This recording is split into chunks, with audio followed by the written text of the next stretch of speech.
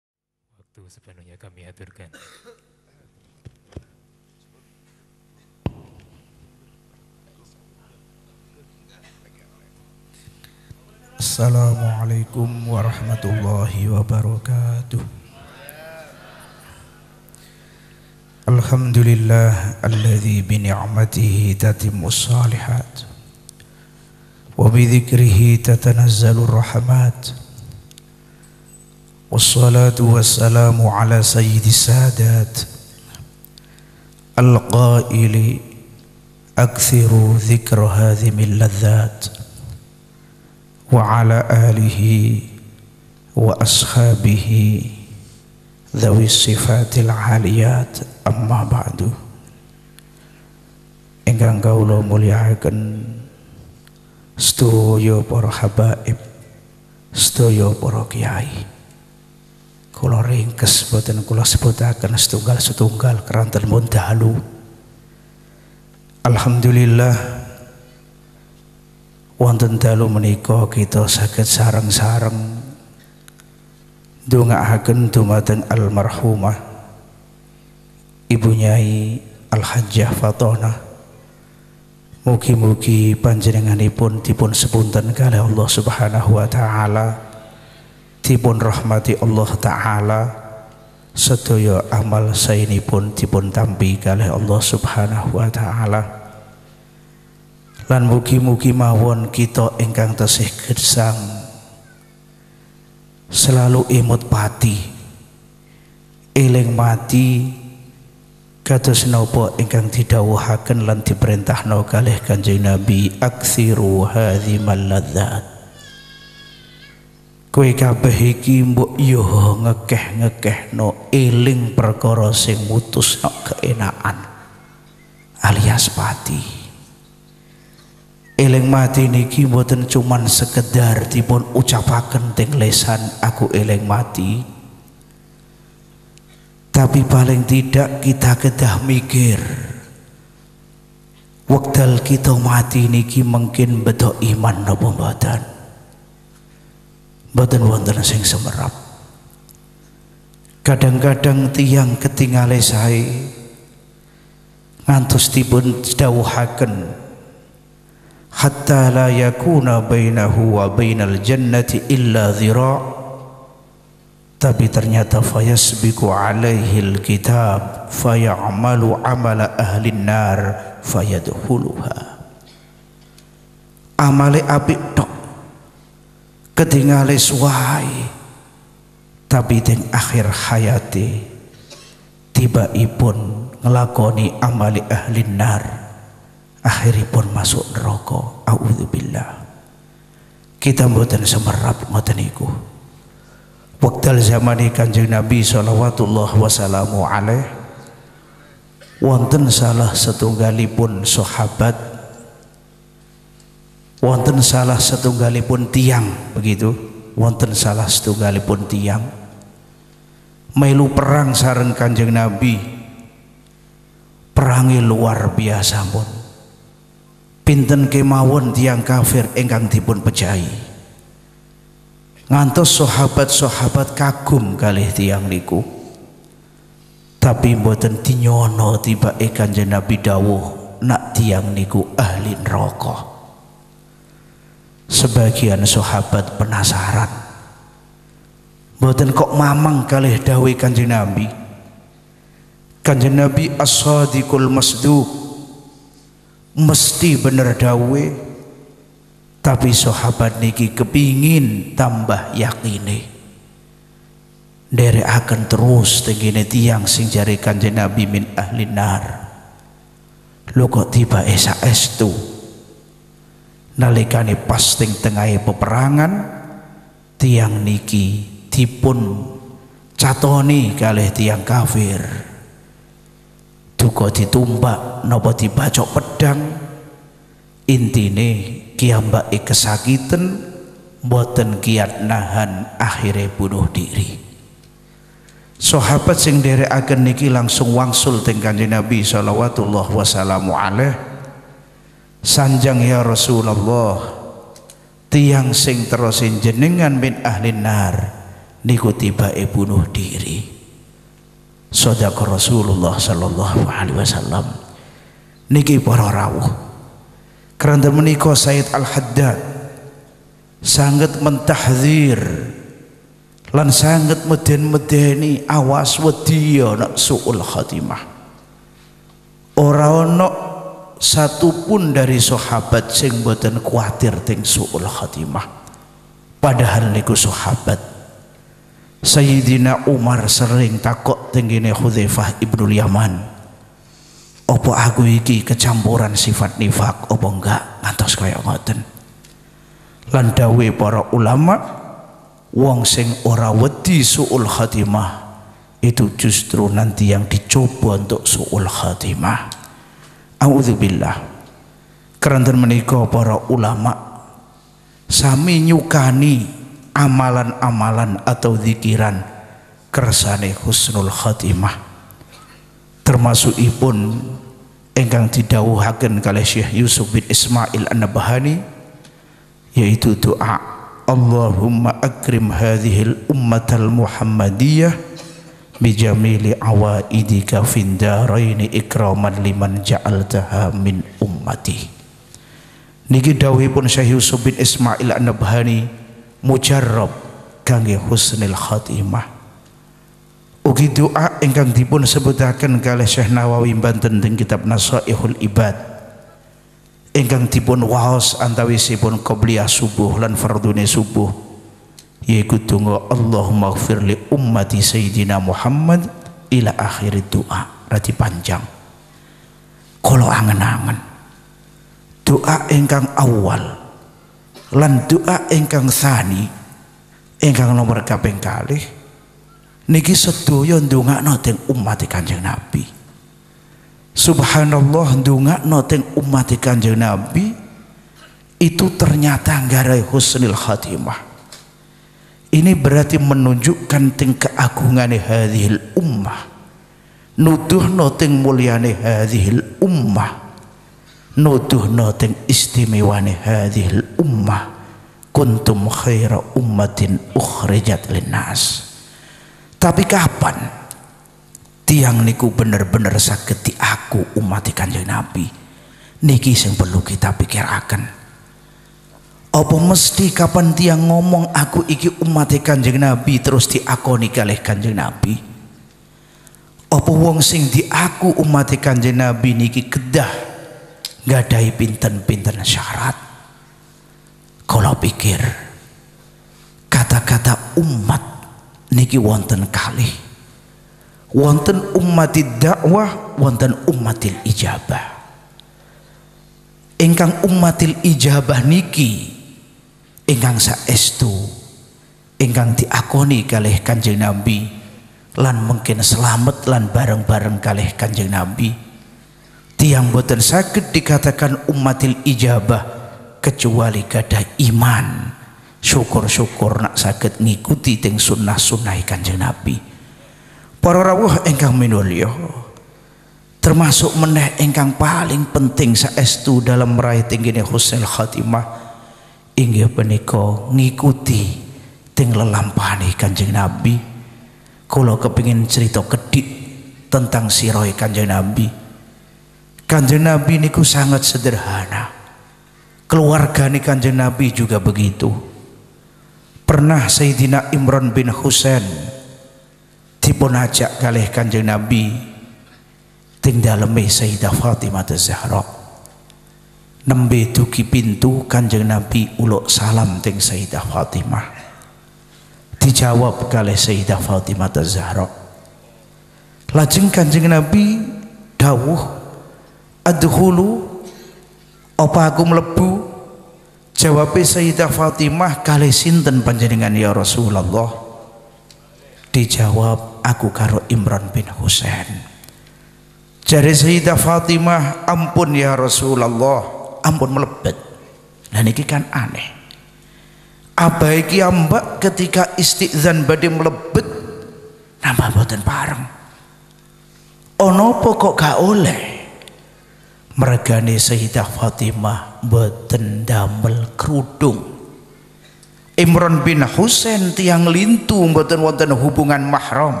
Jare Kanjeng Nabi klambimu gawe tutup klambimu gawe kerudungan.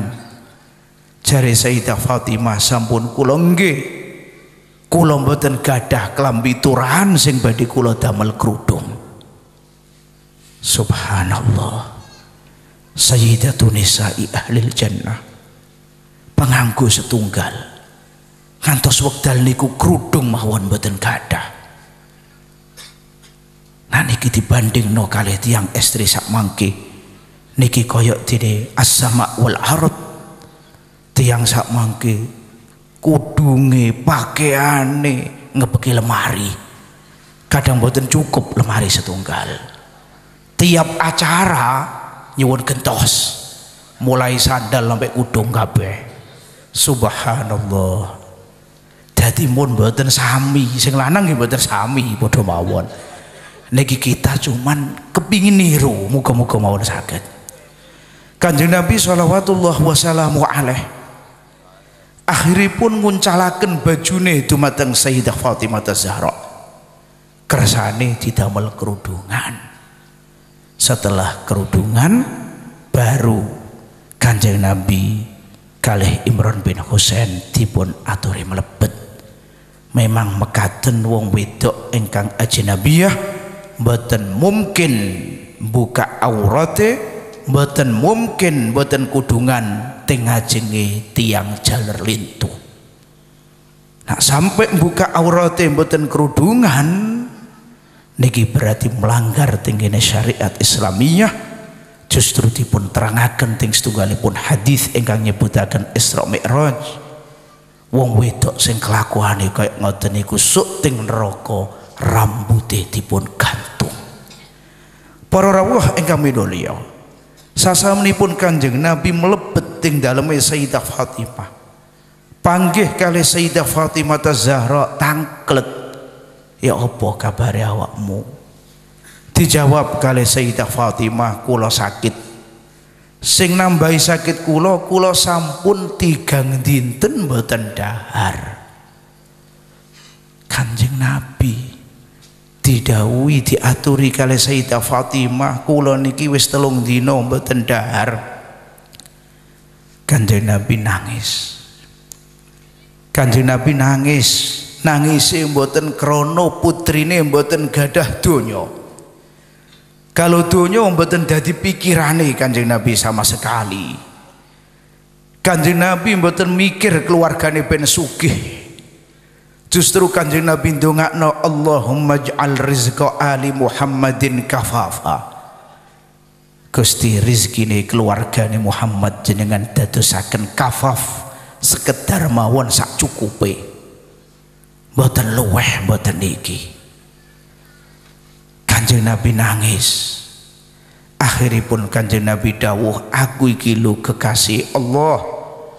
Cara aku njaluk daharan aku diparingi. Kanjeng Nabi ngeten nggih saderenge dawuh aku ya telung dina gak dahar begitu. Dadi sami aku kekasih Allah cara njaluk diparingi. Tapi aku ora njaluk lajeng kanjeng Nabi nerusaken. Nyukani bisyarah ting Sayyidah Fatimah. Nak Sayyidah Fatimah niku bakal jadi ketuane tiang istri engkang wonten ting surga. Dengan arti awakmu nggak usah susah. Masalah dunia gak duwe rasa susah penting akhiratnya enak. Penting akhiratnya enak.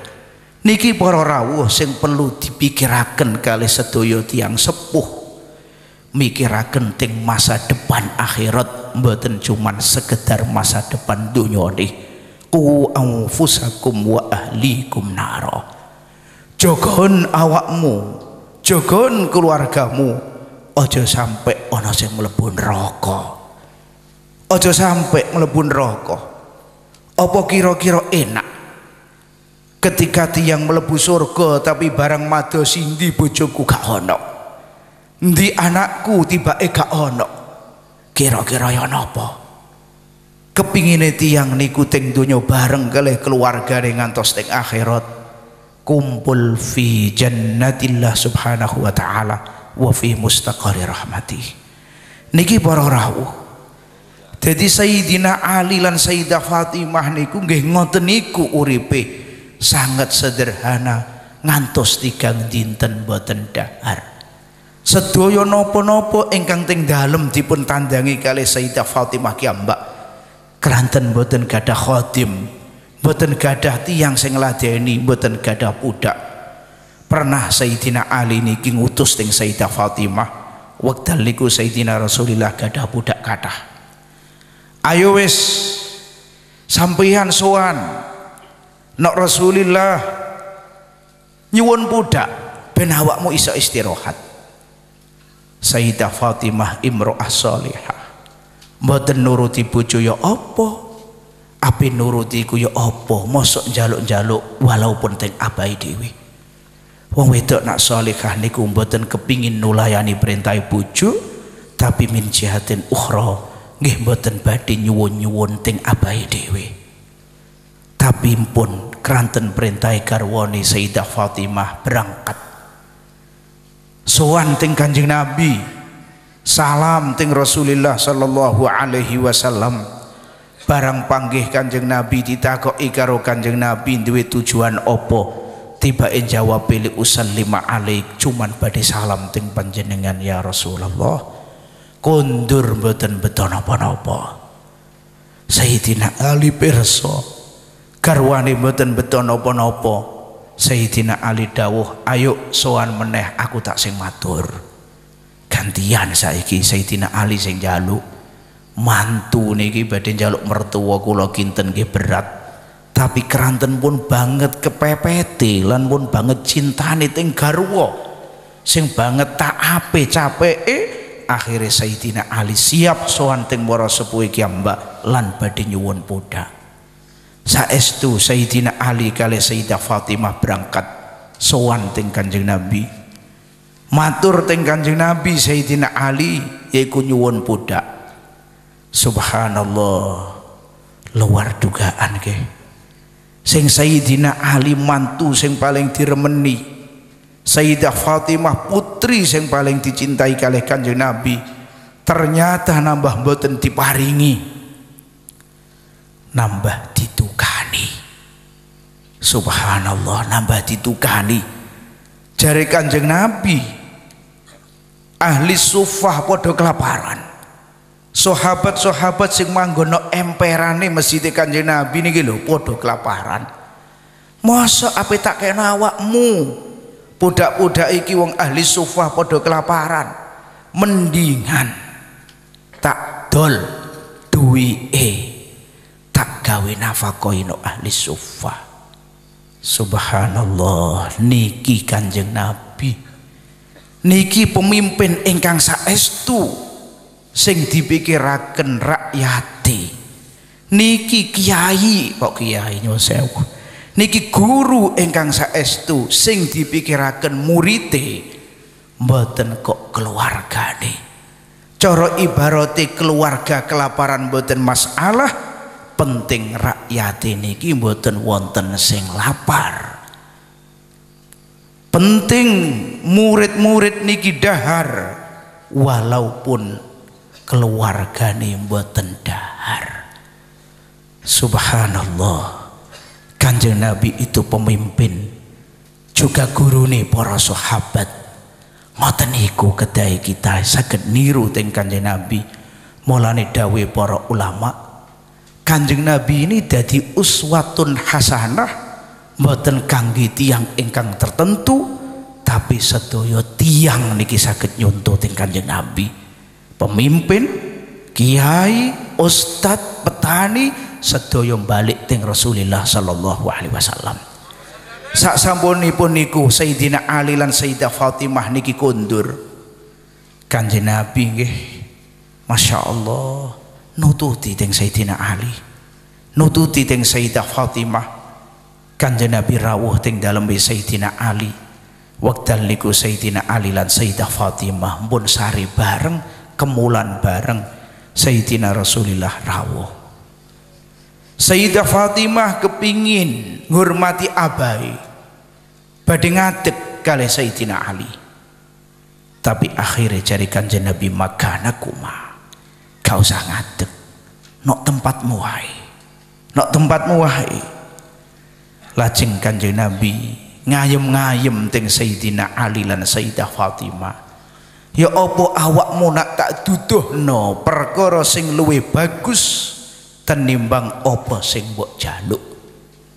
Sing dijaluk donya sing dijaluk budak. Tapi kanjeng Nabi kersane nyukani genti sing luwih apik tentune Sayyidina Ali lan Sayyidah Fatimah jawab nggih ya Rasulullah. Kira-kira nopo niki? Nopo niki yotro nopo niki tanah? Nopo-nopo tiba imboten tiba zikiran. Jari kanjeng Nabi awakmu nak ape turu? Mocon subhanallah ping telung puluh telu Alhamdulillah ping telung puluh telu. Allahu Akbar ping telung puluh papat. Iki sing luwih bagus tenimbang sing mbok jaluk. Saking menika kita semerap pentingnya zikir dumateng Allah Subhanahu wa taala. Selagi ne ati niku wonten ta'alluq lan zikir dumateng Allah insyaallah khair. Lan setan boten sakit ganggu bahkan dawe sebagian ulama adzikru mansyurul wilayah. Faman wuffiqa lidzikri faqad u'tiya mansyurul wilayah. Sapa wonge sing ditulungi saged zikir menyang Allah berarti pun diparingi mansyurul wilayah. Jadi mansyur niku asli maknane surat ketetepan.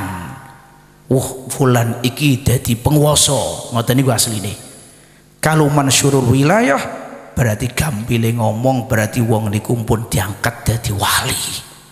Jadi nak kepengen jadi wali kudu zikir terus menyang Allah subhanahu wa ta'ala langkung-langkung ngangge zikirane kanjeng Nabi. Kalau kita tingali zikirane kanjeng Nabi lan doa nabawi niki luar biasa. Ketok singkat tapi masya Allah maknane ya Allah ya Rob kula sukani contoh setunggal mawon. Termasuk salah setunggalipun donga utai zikire kanjeng Nabi. Allahumma inni a'udzubika minal hambi wal hazan. Wa a'udzubika minal ajzi wal kasal.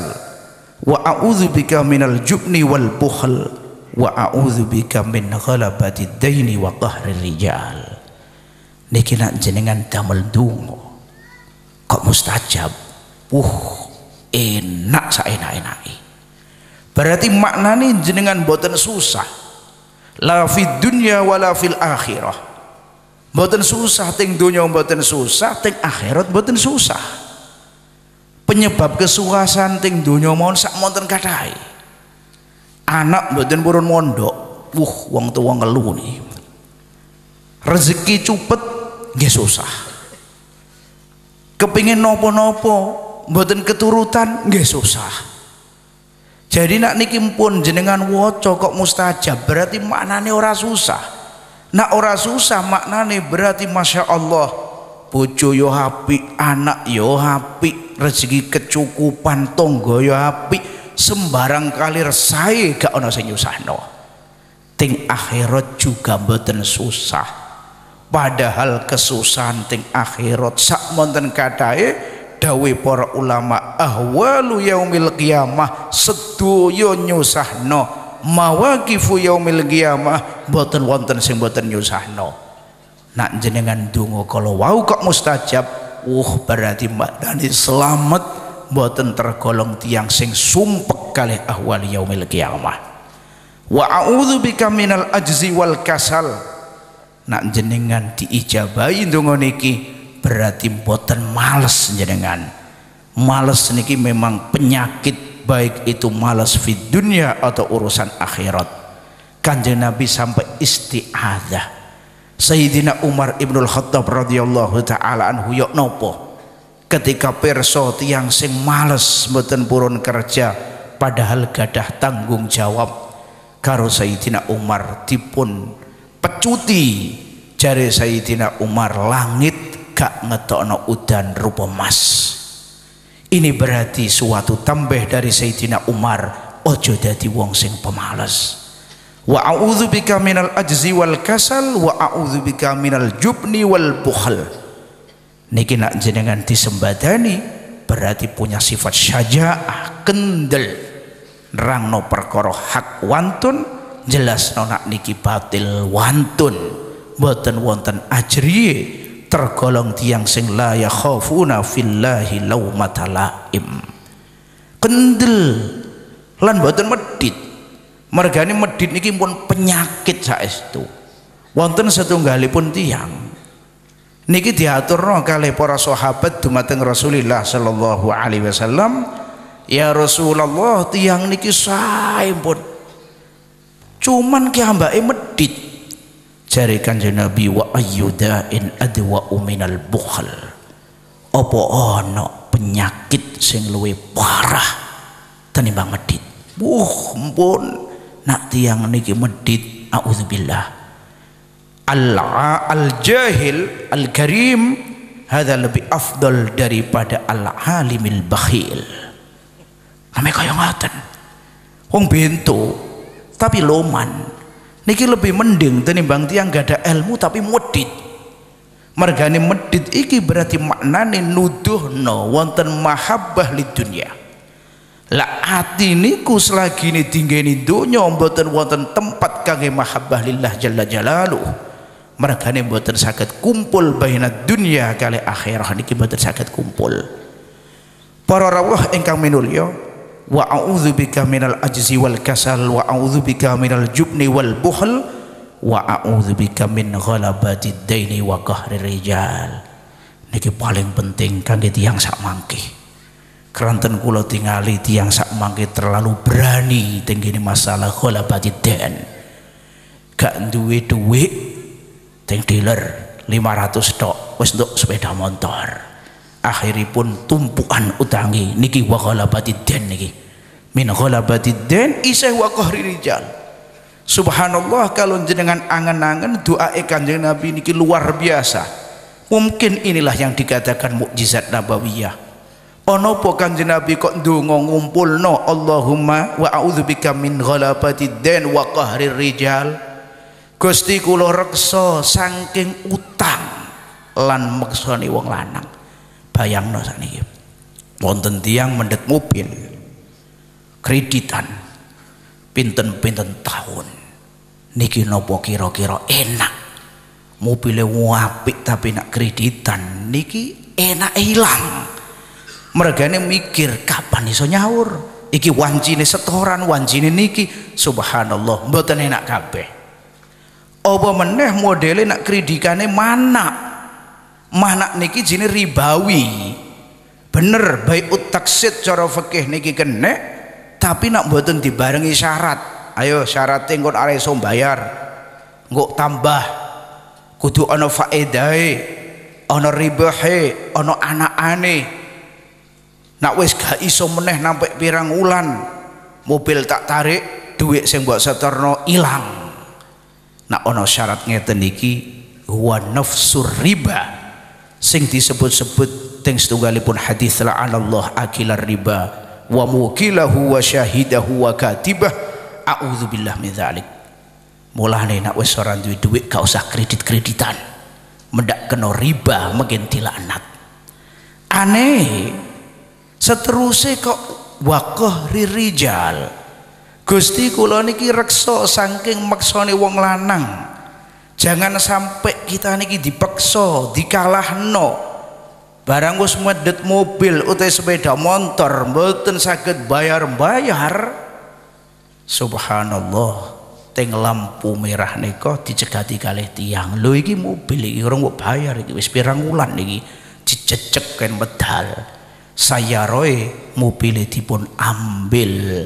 Duit hilang mobil hilang niki mungkin juga termasuk jengene kohri rijal sing kanjeng Nabi selalu isti'adzah wa a'udzubika min ghalabati daini wa qahri rijal. Ting tungane meneh kanjeng Nabi dawuh Allahumma inni a'udzubika minal ma'thami wal maghram.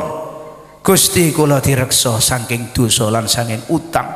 Utang niki medeni saestu Kanjeng Nabi ditangleti kali sebagian sahabat wonten napa ya Rasulullah? Jenengan kok ngatah-ngatahno isti isti'adzah nyuwun direksa saking utang. Jawab kanjeng Nabi mergane wong nak diutang iku biasane tukang gorowan sering goroh. Ya sesok nak omah tak bayar tiba melayu dhisik. Ya Allah ya Rob para rawuh ingkang minulya niki ingkang saged kula aturaken sampun dalu kula nyuwun agungi pangapunten dumateng sedaya ingkang hadir wassalamualaikum warahmatullahi wabarakatuh اللهم يا دائم الفضل على البرية يا باسط اليدين بالعطية يا صاحب المواهب